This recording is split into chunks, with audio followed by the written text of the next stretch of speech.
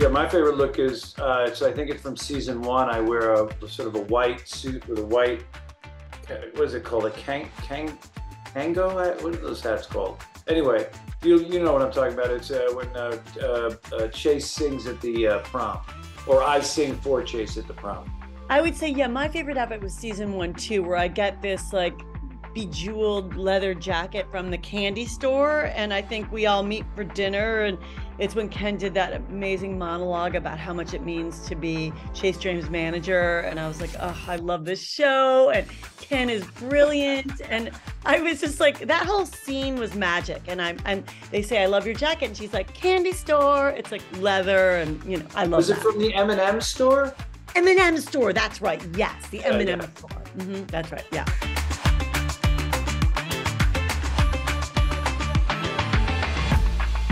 they're hovering around their rock bottom, just kind of dipping their toe into the worst moment of their lives. Um, and then this season, I think like it becomes too much for the two of them to take, and they finally do uh, reach reach full peak sadness. I think what's so great about this show and what Chris and Sarah have created is that you keep thinking that these characters can't go any lower, and then they do and um, that's what makes it so funny and um, yeah they kind of take them higher in terms of status to achieve an ultimate low my character's rock bottom is probably when i get so exhausted and i wind up in the hospital second season. End of second season when she's in the fashion show and she faints because she's so exhausted and she winds up in the hospital um, on an iv needing hydration and she has like a breakdown you know she's she breaks down. She she's doing too much. And I would say Streeter's rock bottom uh, and uh, is when he somehow makes it about him while Molly's while Pat is on the in the hospital and he somehow starts to whine about you know uh, uh, not receiving enough uh, attention and love from Pat in a moment where she's just had a breakdown.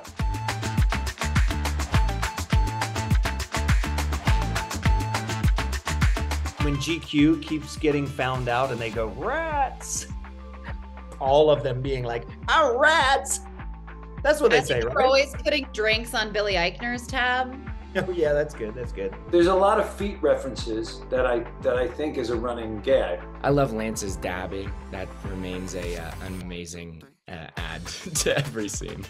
Uh, Chase Dreams' growth and development to me is a very very special running joke that is now in its third season. And what's hilarious is that Case Walker, our boy, who we love so much, I friggin' love that kid, is now like six foot three and 200 pounds of chiseled muscle. He's just literally got a barrel of snakes on his back. And because he's a rock climber and all he does is spend all his time off season climbing mountains in Colorado and traveling the country with like his backpack and a sleeping bag. Season one, uh, Richard Kind is Skip Champlin um, the agent, every single time you see him, you think he's doing one thing, but it turns out he's doing another. Like he's like, oh, he's not just walking home with food; he's delivering food.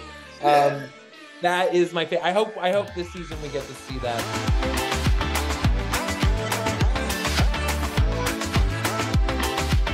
I hadn't met Kiernan Shipka until the actual shot we shot of her walking up to us and my reaction was a real reaction. She absolutely blew my hair back with like gorgeous star power. It was so shocking. You're like, oh, I'm not that. That's yeah. that's something else. That glows from within. Yeah. Um, well, Kate Berlant is just so brilliant as the agent. She is hysterical. I saw her one woman show. She's one of my favorite female comedians.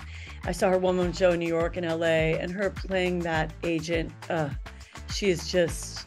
Eh, those scenes make me laugh harder than anything. What I love is that uh, Brandon Scott Jones progression from the first season to this season, how he is, you know, now, you know, smack dab in the middle of the storytelling and and I, I, just thought he was incredible the moment he opened his mouth in the pilot and then to to you know to, to get to see more of him as the seasons progressed has been um, a real gift for the show and also just for me as a fan. I think I was really excited for Kiernan Shipka on our show. That was exciting. Working with Wanda has been incredible. Now I know she's part of the core cast and she's not a guest star, but honestly, like to me, I don't get to work too much with Wanda.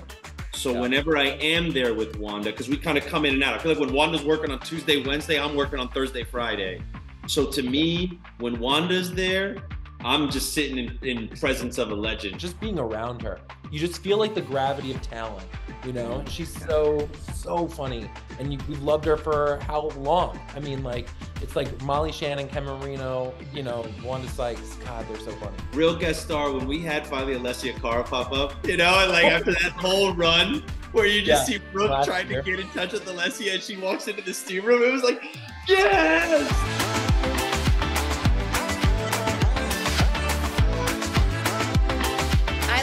Finn and Drew this season. Finn Argus, who plays Lucas, Lucas Chanmoy.